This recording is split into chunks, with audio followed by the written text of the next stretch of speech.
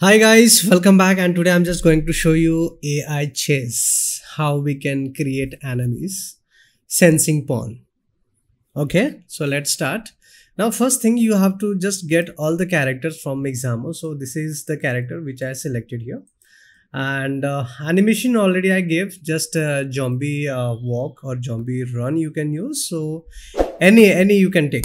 So just I have downloaded this from here. I say download okay. And uh, go to here back in your uh, uh, unreal engine file. And i'll create a new folder inside this. I'll just keep the name zombie. And uh, import your character. And make sure your animation should be enabled from here. Import animation as well as we want the skeletal mesh right? Get to here uh, get it here and say import everything and just say save all. This time you can see this is the characters right? Here i can see the animation also physical assets skeletal mesh materials everything is here.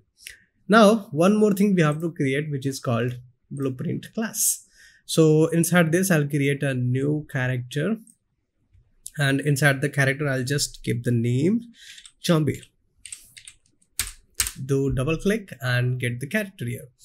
So within this component section you will see some options which is the skeletal mesh. Inside the skeletal mesh i'll keep uh, this character which is our zombie. Any other character you want to add you can but uh, i just imported that character so i'll just keep this first okay? And uh, just get it here. So it is touching with uh, you know surface. So and make sure your character should be this side only which uh, uh, angle shows the arrow right? So just say rotate 90 degree. Okay?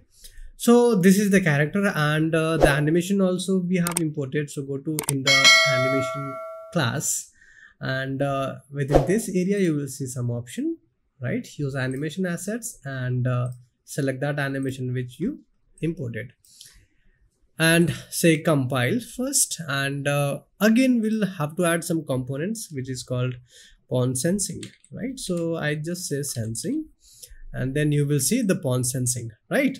So actually i can see you know uh, like big area.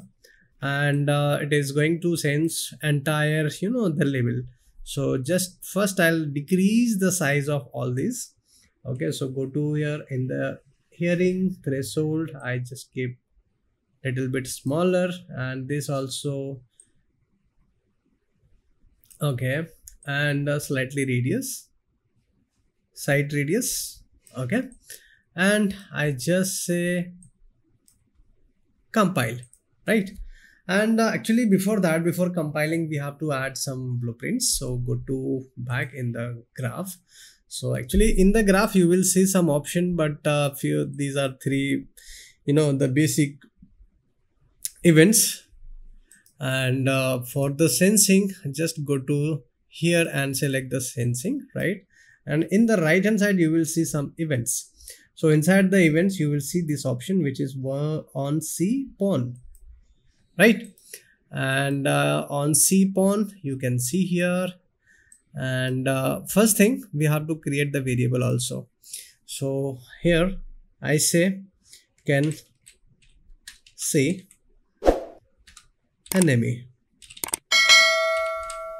Okay i just say question mark. And this will be our the variable. Right so actually i say cast to third person character and one more thing we have to attach this pawn should be with object. And here I say sequence. Right. In the sequence I'll have to add this you know variable which uh, is the boolean right? So this time I just going to keep this here. And I say true in the first right and in the second node again we will add it but uh, this will be the false. So here i'm not just going to enable anything. And actually before that we can add uh, the delay node here. So for uh, the delay i just say uh, delay delay delay. Where is the delay? Delay. Okay this function delay and uh, here you can keep 0.5 right and uh, actually here i'm just adding ai command right ai move to and here it's going to pawn the self right? So this self i say get a reference and the target will be our third person character which is here right? Connect with this and go to here and check so actually if you are doing the compile then go back to here and uh, within this area we have to add the nav mesh which is here. Uh, directly you can search nav. Mesh bound volume. Okay? And if you press p then you will see the volume area right where it's going to pawn. So i just say scale and i just increase the area where it's going to move this character.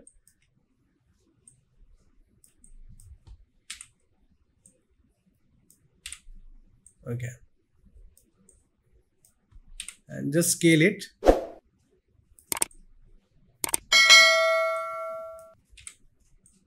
Like this. Okay and uh, save it first. Go to here and just keep it your character within this area. Now the thing is we have to rotate this character this side because my character is this right? And this is the zombie. So this zombie should look that side only. So just say rotate that way only. Okay? Just keep it here. And if our character means the third person character will come here and then this character is going to chase. Okay? So the thing is say play and uh, if I just see character is walking.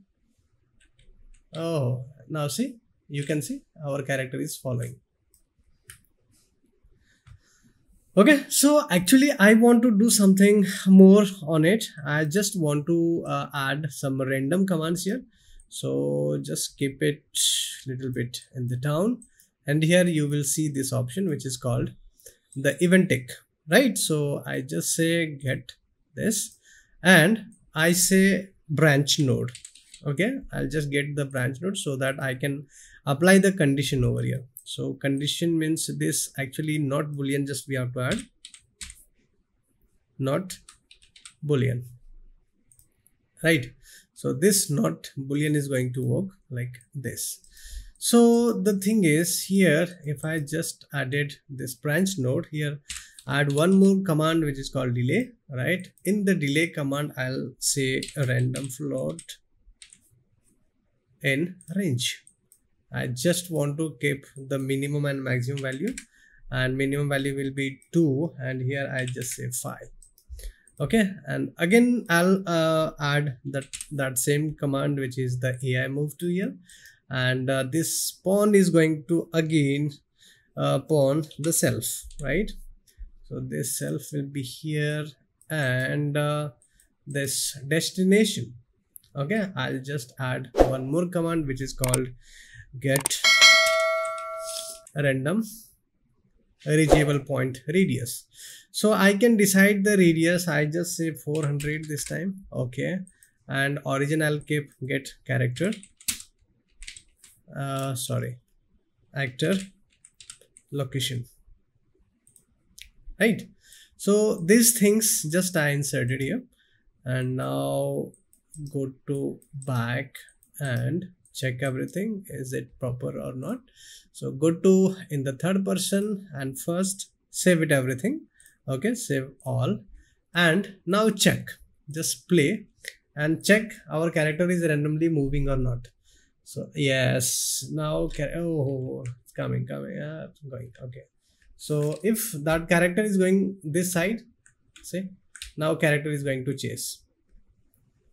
So this is the command which we done okay?